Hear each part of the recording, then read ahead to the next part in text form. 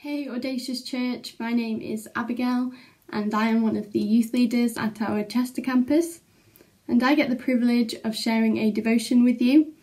Uh, so if you would like to get your Bibles out, you can do that now and you can head on over to Isaiah 40.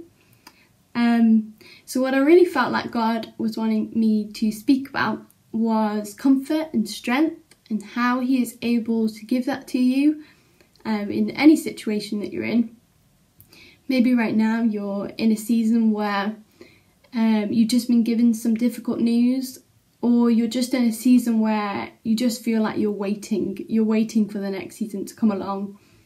Or maybe you're just uh, feeling exhausted.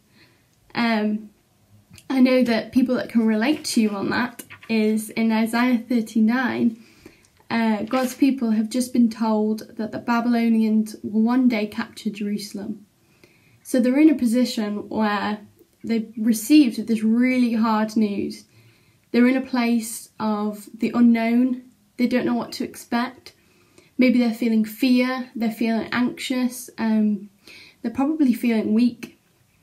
And in Isaiah 40, the title of it actually says Comfort for God's People.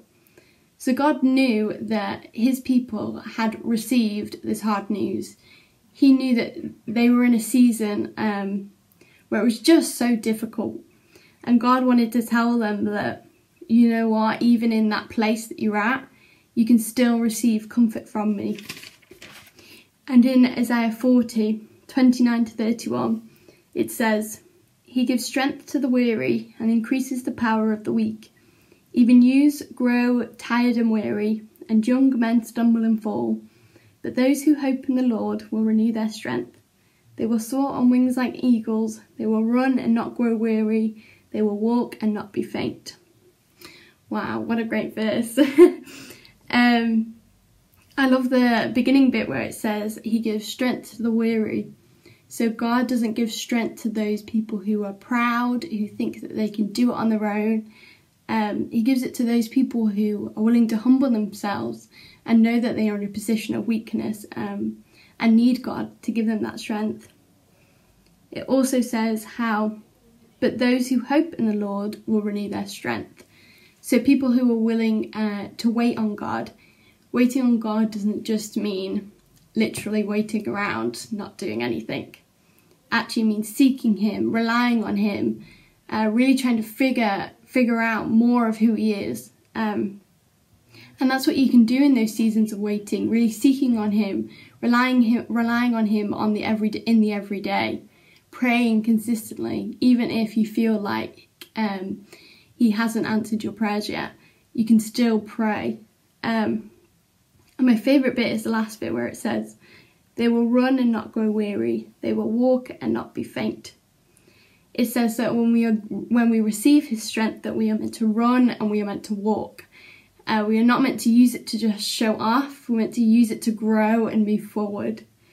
Say, for example, if all of a sudden God gave you these really big muscles, um, and all of a sudden you uh, were bragging to your friends or you were taking pictures and putting it on Instagram. Um, God doesn't want you to use the strength um, in that way.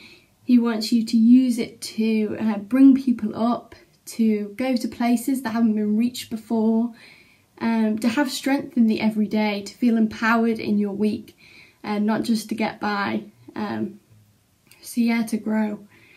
Uh, but yeah, that's all I have for you today. Um, I hope that you took something from it, and I will quickly pray for you before you go. Uh, dear God, thank you for these people taking the time to just listen to you, God. I pray that you fill them with so much comfort, so much strength, and so much peace, God, uh, in whatever season they're in right now. We thank you, God, and we glorify you, God. In Jesus' name, amen. But yeah, thank you for listening, and I hope that you have a great morning, evening, day, uh, whatever time you're listening.